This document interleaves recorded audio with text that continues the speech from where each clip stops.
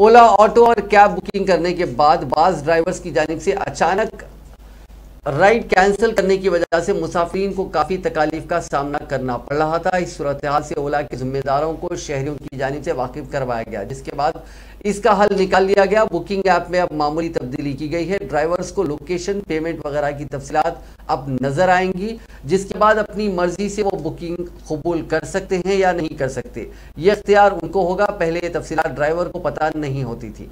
इस तब्दीली से अब मुसाफिर को ड्राइवर की जानब से राइड कैंसिल की मुश्किल नहीं होगी।